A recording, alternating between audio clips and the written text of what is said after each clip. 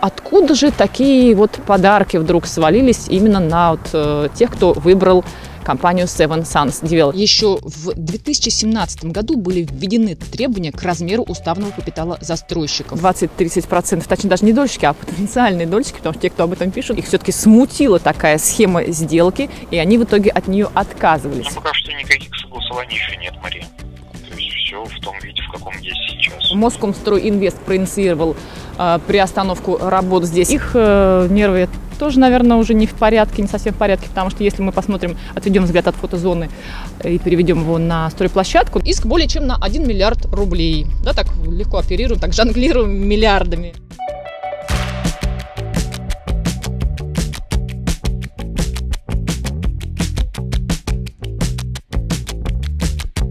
Всем привет, с вами «Квартирный контроль», я его ведущая Мария Федорова, и сегодня мы на территории Ленинского городского округа Московской области. Героем этого выпуска станет проект «Мечта», формат, о мечтает, наверное, основная часть нашей аудитории. Ну, вы только представьте, это многоквартирные, но всего лишь четырехэтажные дома. Жилой комплекс обеспечен, будет обеспечен своей школой, детским садом. Как указано на сайте застройщика, многофункциональной инфраструктурой. Также нарисован здесь и торговый центр.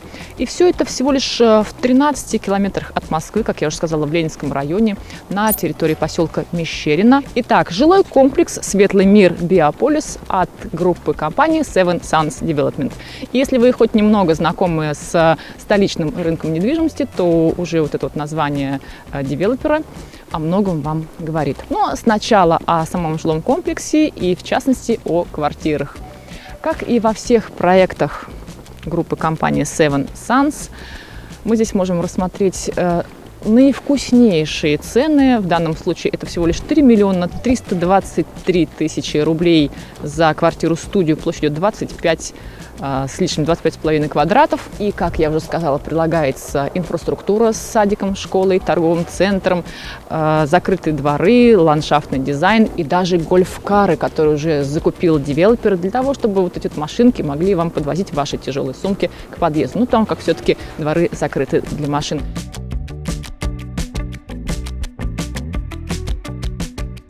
Гольфкаров здесь пока не видно, но мы застали за работой экскаваторы и грузовики. Ведь еще не так давно на площадке стоял один только каток, асфальтоукладчик. Разрешение на строительство было получено в мае 2021 года, продажи стартовали в октябре, а бронь застройщик открыл и того раньше, в августе. При этом цены на этапе бронирования на те же студии были миллиона на два повыше. Ожидается, что дома будут построены уже через год, в первом квартале 2023 по условиям ДДУ ключи жители должны получить до конца 2023 года, ведь квартиры застройщик планирует сдать уже готовыми к проживанию. Покупателям предлагается отделка аж в трех видах и, как пишет застройщик, в подарок. О подарках говорится и на главной странице ЖК. В их числе чистый воздух, пение птиц по утрам, хвойные и лиственные леса. Но есть у меня опасение, что именно этими презентами застройщик и ограничится. Ну, откуда, спросите вы, столь мрачные прогнозы и сомнения? Ну, к сожалению, у нас есть основания предполагать и делать именно такие прогнозы в силу того, что у застройщика, у компании Seven Suns Development на столичном рынке сложилась не очень хорошая репутация, прямо скажем, сомнительная. Ну и для того, чтобы не быть голословными, мы этот ролик э, сделаем таким туром по проектам э, выше названного девелопера, прокатимся по его проектам, посмотрим, как идут дела на его стройплощадках. Но начнем с э, совершенно неожиданного места. Это жилой комплекс Горки парк. Не хочу ни в коем случае делать ему рекламу. Почему мы сюда приехали? Потому что он расположен буквально вот напротив, в каких-то не знаю, двух с половиной километрах от Биополиса. Недель шесть назад мы здесь были, снимали проект. Э, с тех пор, кстати, сразу хочется сказать, что вот этот корпус вырос на 4 этажа. И что нас сюда привело? Ну, конечно же, контраст. Контраст вот в этом ценообразовании. Если там мы увидели малоэтажный жилой комплекс, в котором предлагаются квартиры площадью 25 квадратов от 3 миллионов там, 300 тысяч рублей, то здесь это будущий муравейник, человейник, как хотите это называйте, гетто и так далее. В принципе, адекватная характеристика, конечно же. Но квартиры студии гораздо меньше. Клетушка 21 квадрат стоит здесь 4 миллиона 120 тысяч рублей. Это минимальная планка. Да, здесь квартиры предлагаются с отделкой, И, кстати, даже с кухней, ну, с какой-то простенькой, но легким движением руки мы убираем галочки с кухней и отделкой и получаем ту же квартиру за 3 миллиона 790 тысяч рублей. То есть это коробчонка без отделки, в отличие от того, что мы э, увидели там, то это 3 790 на почти на полмиллиона дороже. При этом срок сдачи здесь заявлен февраль 2024 года. И, конечно, возникает вопрос, откуда же такие вот подарки вдруг свалились именно на вот, э, тех, кто выбрал компанию Seven Suns Development. Давайте разбираться. Итак, в Биополисе дома сдаются раньше, этажей здесь в 5 раз меньше, а цена при этом... Ну, давайте теперь возьмем более внятный метраж для сравнения. Однушка 37 метров в Биополисе 4 миллиона 378 тысяч. Почти такой же метраж, 36 квадратов, но уже у конкурента в горке парк 6 с лишним миллионов. Уберем отделку с кухней 5 620. Все равно на миллион триста дороже. Как так? Ну, давайте уже посмотрим на другие проекты девелопера. Самый известный и самый, наверное, скандальный проект от компании Seven Suns Development – это жилой комплекс «Светлый мир. Сказочный лес». Ну, известен он в первую очередь своим расположением. Возводится на территории, ну, по сути, да, на территории национального парка э, Лосиный остров. Известен своими ценами, ну, а оскандалился он, конечно же, с э, Министерством природных ресурсов и с э, самим парком Лосиный остров. Ну, конечно, не каждому понравится строительство многоэтажек на территории природоохранной зоны. Многоэтажки – это дома в количестве четырех штук, высоту от 11 до 25 этажей с подземным паркингом, с детским садом и даже с э, начальной школой. Судебные тяжбы ни Минприроды, ни Лосиному острову пока ничего не дали. Как видно, строительство ведется. Мы здесь были первый раз э, в апреле 2020 года стали свидетелями э, котлованных и фундаментных работ. На сегодняшний день мы видим, коробки возведены, но дела все-таки идут не так, как хотелось бы, по крайней мере, дольщикам. Было обещано, ну вот на момент нашей э, съемки весенней в 2020 году было обещано, что э, корпуса будут сданы в эксплуатацию во втором квартале 2021 года. Сейчас январь 2022. Как видно, работ здесь еще полно. При этом по текущей версии проектной документации Сдача в эксплуатацию должна была состояться в четвертом квартале 2021 года, который только что закончился. При этом, как вблизи, так и издалека, активности какой-то такой адекватной, да, вот этому какому-то наверстыванию сроков мы здесь не видим. Краны стоят, рабочих настройки, ну вот сейчас с воздуха, да, посмотрим, может быть, мы что-то разглядим, конечно, э, рабочих э, настройки не видно, единственное только что штуки три, наверное, КАМАЗа проехали туда-сюда.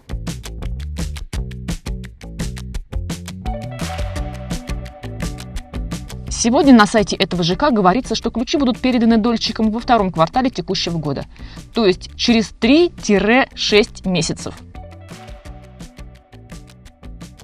Но ну, сейчас подошли поближе, я увидела, что здесь вот ведутся работы, ну, видимо, по прокладке коммуникации, вот работает экскаватор.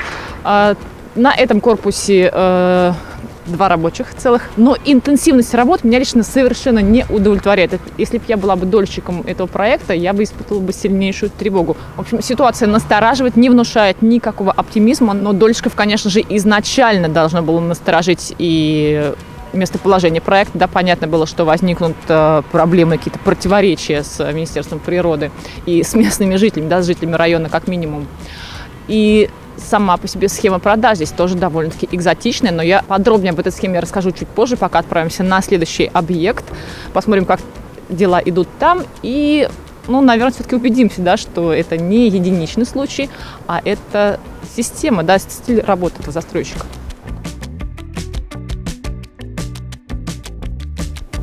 Еще один проект, свидетелем зарождения которого мы стали, это жилой комплекс, ну, также формата светлый мир, но уже в стремлении к свету. В апреле 2020 года мы увидели здесь э, подготовительные работы. Это была расчистка участка, рытье котловану только начиналось.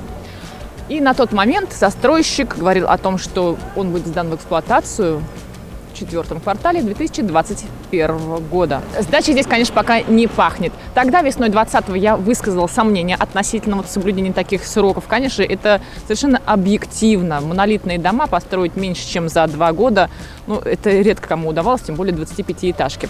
Здесь возводятся дома в две очереди, Всего их будет, э, всего строений будет 9, высотой 25 этажей, плюс два садика. Подземный паркинг здесь э, также запроектирован. Но уточню еще момент один. Э, по первой версии проектной декларации сроки вообще назывались третий квартал 2021 года. По текущей версии это второй квартал 2022 ну, если вы не очень ориентируетесь в кварталах, то второй квартал начинается в апреле и заканчивается 30 июня. Вот как вы считаете, за меньше чем полгода возможно достроить, вот, в принципе, здесь, да, еще даже коробки не до конца возведены, выполнена кладка из блоков на нижних этажах, где-то виден даже утеплитель, оконные блоки, опять же. Но если реально смотреть на ситуацию, то работа здесь еще на год как минимум. Опять же, если не будет каких-то приостановок, которые здесь уже случались. Ну вот уже есть свершившийся факт, что в феврале прошлого года, 2021, Москомстройинвест проинициировал э, приостановку работ здесь. Причина этой инициативы том, что в адрес э, застройщика, специализированная застройщика Everest Trade, которая входит в группу компании Seven Suns Development, было подано заявление о банкротстве.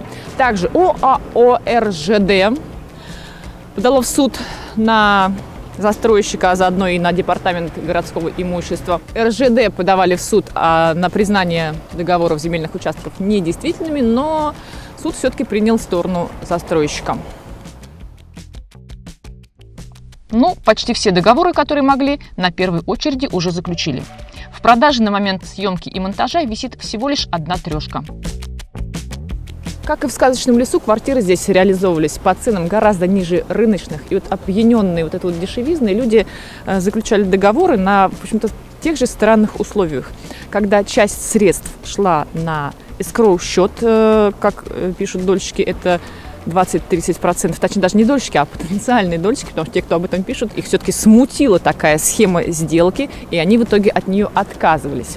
Э, то есть 20-30% идет на счет escrow, который в случае банкротства или каких-то да, других неприятностей возвращается дольщику, а остальные 70-80% уходят в неизвестном направлении.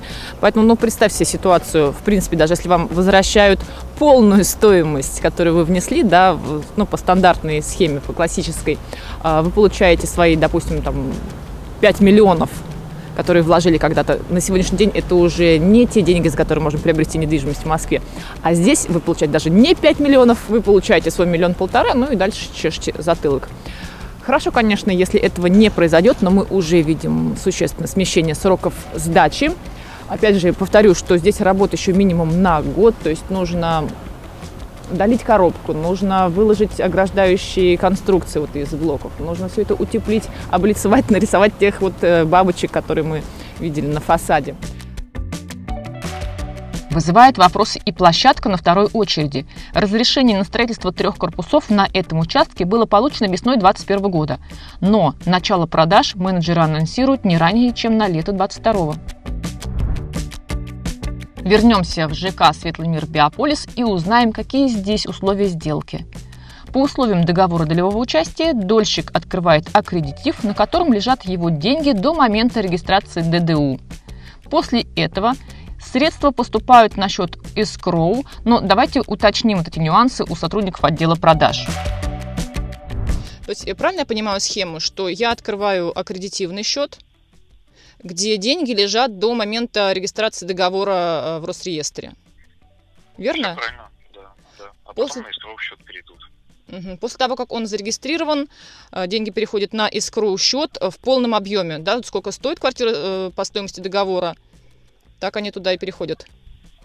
Все так, да. Еще один существенный момент, на который указывают участники других проектов компании, это договор бронирования. По его условиям потенциальный покупатель должен оплатить 50 тысяч рублей, но по опыту несостоявшихся дольщиков эти деньги не возвращаются ни в случае отказа банка в ипотеке, ни тем более в случае, если вас смутили условия сделки, ни даже в случае, если сам застройщик не выполняет своих обязательств по этому же договору бронирования. На проекте «Биополис» сейчас говорится о двух очередях застройки. Всего на участке в 48 гектаров планируется возвести 27 корпусов и социалку. К какой очереди относится садик и школа по картинке не понять.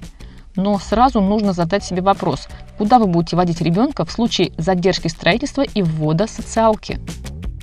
Так, и садик-школа. Я на схему смотрю, э, не совсем понятно. То есть они как бы между первой и второй очередью э, Ну, поскольку указаны. муниципального, муниципальных построек я вам точно не смогу ответить. Они скорее в следующей очереди будут реализованы. На первых этажах там что-то магазины, вообще коммерция Нет, какая-то. Нет магазинов. Первый этаж у нас в живой виде. У нас торговый центр отдельно стоящий. А, торговый центр тоже это, видимо, со второй очереди пойдет, да? То есть вот сейчас, э, В допустим, первую очередь ориентируйтесь, Мария, то, что будут построены только дома. первая очередь это только дома, а вторую очередь вы в какие сроки планируете построить? Я вам точно не смогу сейчас сказать, потому что в определенный момент мы можем начать строить, и это не так долго при малоэтажной, э, при малоэтажном строительстве. Мгм. Ориентируйтесь от, я думаю, года полутора до от заселения первой очереди. Примерно так. Но точных сроков сейчас еще нет. Пока что на согласовании все. То есть, грубо говоря, к 25 году, к середине 25 года можно рассчитывать, да, на социалку? Я думаю, да. 5500 квартир. Если предположить, что каждой, ну пусть в каждой пятой семье будут дети, то это как минимум полторы тысячи ребятишек, которым нужна школа и детский садик. Открываем карту. Ближайший садик мы видим в горках Ленинских примерно в двух с половиной километрах. Школа в Чурилково, это уже 5 километров, но мощность этой школы явно не рассчитана на еще один микрорайон. Конечно, если есть огромное желание жить именно здесь, то можно рассмотреть и другие локации, возить туда ребенка. Но для начала посмотрите в той же карте, где находится ближайший остановочный пункт общественного транспорта. Ну, далековато, правда? Окей, у нас есть машина. У нас есть машина, у нас есть время и желание возить ребенка, там, не знаю, хоть в Москву, хоть в Видное, куда угодно. Но здесь нужно задаться вопросом, а насколько комфортно вам будет выезжать из Биополиса по утрам.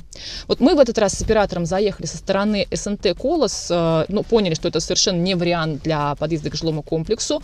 А существующий э, сегодня подъезд через ЖК Южная Горка – это дорога по одной полосе в каждую сторону. И потянет ли она вот эту вот перспективную нагрузку – большой-большой вопрос. Но, на мой взгляд, все-таки нет. Еще раз, 5500 квартир в итоге. Кстати, застройщику именно этого комплекса Южные Горки компании RDI в прошлом принадлежали земли, где сейчас вот строится наш герой. И вот ваши соседи, потенциальные да, жители Южных Горок, э, уже могут поделиться с вами впечатлениями о том, как им живется здесь без дорог и социалки. Знаете, в нашем микрорайоне очень долгие годы отсутствует полностью социальная инфраструктура а, и очень э, большая проблема с общественным транспортом. Также наш застройщик RTI с 2016 года обещал нам э, садик, э, парковки и все остальное. Однако нам вот стало известно недавно, что э, плотность населения увеличится в два раза, и при этом проект застройщика не предусмотрен проезда для общественного транспорта и выезда из микрорайона, которые есть в действующем проекте планировки территории и генеральном плане Ленинского городского округа. Что по перспективам дорог, транспорта, общественного транспорта, автобусов, остановок? Ну, пока что никаких согласований еще нет, Мария. То есть все в том виде, в каком есть сейчас. Потом, возможно, будет выезд сразу на трассу А105, но это тоже на этапе согласования. Сам может измениться транспортная доступность ввиду того, что 5,5 тысяч квартир у нас, порядка 12-12,5 тысяч жителей. То есть, скорее всего, будет меняться транспортная доступность. Но в какой момент, точно сейчас никто не сможет сказать. Если предположить, что со временем все-таки будет построен выезд на трассу, то нужно понимать, что это произойдет не одновременно с вводом первой очереди. А значит, такие ресурсы, как терпение, оптимизм и, конечно, свободное время, должны быть у вас в избытке. Ну, давайте продолжим анализ показателей надежности этого застройщика и перейдем на его сайт, не поверите. На сайте мы видим необходимый состав документов. На данный момент застройщиком оформлена документация на 12 гектаров, которые будут застраиваться в три этапа.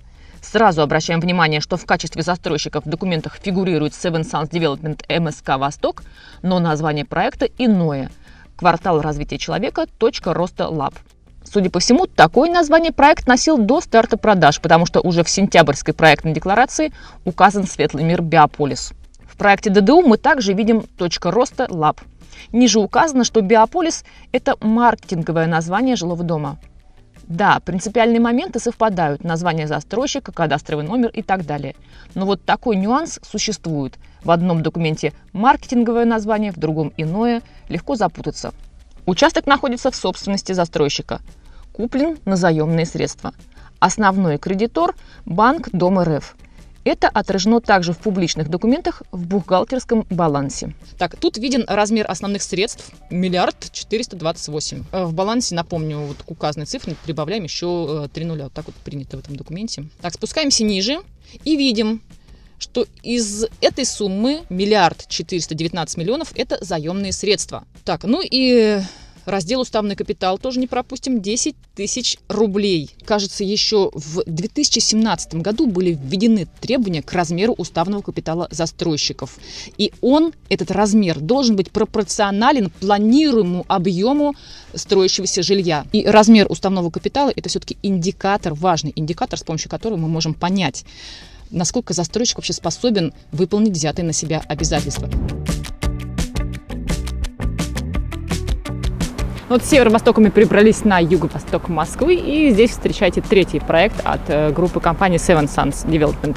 Мы были здесь в марте 2021 года, ну, меньше года назад, и, конечно, хотим посмотреть, что изменилось на этом проекте. А перемены здесь заметные, яркие, я бы сказала. Вот, например, появилась вот эта вот фотозона, с оленями. Хотя не знаю, может были не в новогодний период, может быть и тогда это было. Ну вот, наверное, приятно здесь потенциальным дольщикам пофотографироваться, да, и помечтать о том, как им будет здесь удобно и комфортно жить в их новенькой квартире. Что же касается реальных дольщиков, то их э, нервы тоже, наверное, уже не в порядке, не совсем в порядке, потому что если мы посмотрим, отведем взгляд от фотозоны и переведем его на стройплощадку, но, правда, только с помощью квадрокоптера, потому что за забором мы ничего не увидим, то там будет совершенно унылое кино, мало чем отличающаяся картинка от того, что мы видели весной прошлого года, в марте 21 Итак, Светлый мир, станция Л. Это пять корпусов высотой в 26 этажей, которые возводятся на границе Пиковского жилого комплекса Люблинский парк и строится по пиковской же технологии, где подземная часть и первый этаж – это монолит, а все, что выше из сборного железобетона. Разрешение на строительство здесь было получено в 2018 году, что позволяет девелоперу в данном случае продавать квартиры по старой схеме без использования эскроу счетов. Работы на площадке стартовали в конце 2020 года. Что же касается сроков, то они называются до сих пор прежние. Как мы и говорили э, ну, почти год назад, да, 10 месяцев назад, был заявлен срок сдачи конец 2022 года, то есть текущий, за этот период должны здесь вырасти 25-этажки. Я, конечно, понимаю, что дома из сборного железобетона строятся быстрее, чем монолитные. Да? Там, повторяю, что в среднем берется два года на возведение монолитной многоэтажки. Но это же какое шевеление должно быть на стройплощадке для того, чтобы мы могли с вами надеяться, что дома будут сданы в конце текущего года, то есть через 11 месяцев. Еще один проект застройщика – клубный дом на Рублевке, точка отчета и квартал.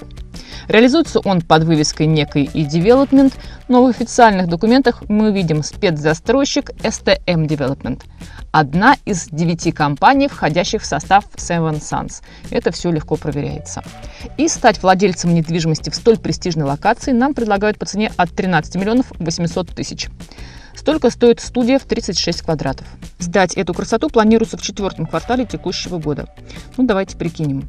В апреле 2021 года видим подготовку площадки. Спустя 9 месяцев работы на минус втором этаже. Да, монтаж подземного уровня – это всегда дорого, долго и сложно, поэтому темпы на данный момент можно назвать адекватными. А будет ли проект сдан до конца года? На мой взгляд, нет, не будет. Максимум, что мы можем здесь увидеть в декабре 22 это бетонная коробка, пока без облицовки и, конечно, без внутренней отделки. Мы увидели с вами, что на территории Москвы готовых проектов от Seven Suns Development нет. То есть судить э, о надежности застройщика по московским объектам мы пока не можем. Но если набраться какого-то оптимизма, пофигизма, еще там чего-нибудь, и предположить, что да, все будет сдано в срок, э, коробки будут построены, мы получим свои ключи, пусть это, ну, уже, да, очевидно, что с задержками, то следует, конечно, задаться вопросом о качестве строительства. На различных площадках вы найдете и видеоматериалы, и обилие отзывов о состоянии зданий, об отделке и инженерных коммуникациях. Но это на территории других регионов, где девелопер уже реализовал свои проекты. Ну и посмотрим на э, судебную активность застройщика девелопера, потому что да, в э, этот холдинг Seven Suns э, входит несколько компаний. Так, 2018 год. Иск от Промсвязьбанка на 2 миллиарда 800 миллионов рублей. Вот это дело в рамках ЖК «Светлый мир» внутри. Это, опять же, Питер, питерский регион. Так, э, значит, Промсвязьбанк. В 2019 году это дело было закрыто, и по условиям реструктуризации кредита застройщик должен погасить его до 2022 года. Так, следующий иск. Терранова. Э, начало 2019 года. Иск о банкротстве. Так, иск более чем на 1 миллиард рублей. Да, так легко оперируем, так жонглируем миллиардами в легкую. Так, еще один миллиардик. Решение арбитражного суда города Москвы. Специализированный застройщик Grand Next также входит в Seven Suns Development. Итак, 1 миллиард 636 миллионов э, взыскать в пользу Департамента городского имущества. Ну, всего лишь 1,6 миллиарда. У вас остались иллюзии относительно устойчивости и расторопности девелопера? У меня нет. У дольщиков проекта «Светлый мир» станция «Л», конечно, сохраняется надежда, но боюсь, что на поддержку нервной системы им приходится тратить немало. Мы с вами увидели систему. Квартиры девелопер реализует по низким ценам, при этом основная часть проектов уже показала существенное отставание по срокам и обилие проблем на всех фронтах. Вернитесь к началу моего ролика и уже сами задайте вопрос – Почему предложение в малоэтажном проекте «Светлый мир Биополис» минимум на миллион дешевле квартир в очередном самолетовском человейнике? А, можно ли считать вот этого застройщика надежным, да, застройщика, у которого за столь короткий срок количество исковых заявлений, э, заявлений о банкротстве а, чуть ли не больше количества объектов, которые он возводит. То есть 2018 года я вам перечислила, если недостаточно, я думаю, можно поискать еще. Э, если для вас эти доводы кажутся незначительными, то хотя бы подумайте о том, куда вы будете, ну, если вы семейный человек, да, если у вас есть дети, куда вы будете водить своих детей до момента, пока не будет построена собственная э, социалка. Как вы будете выезжать отсюда? Э, нет ли у вас опасений, что вы окажетесь э, просто в заперти здесь? И хрен с ним, ладно, вы опоздали на работу. А если к вам опоздала скорая, или эта скорая опоздала к вашим родителям, бабушкам и дедушкам, для которых вы здесь э, собираетесь купить квартиру, чтобы освободить там их, да, и вывести из московской квартиры, занять самому подумайте об этом. На мой взгляд, у компании очень много косяков и вообще каких-то непонятных обстоятельств вокруг нее. Но в данном случае мы с вами не можем никак повлиять вот на этот факт, на эту ситуацию. Зато мы можем, повторяю, включить голову и еще раз все тщательно взвесить. Ну и, как всегда, э, ваше решение – это ваша ответственность. Мы же можем только пожелать вам правильного выбора и верных решений.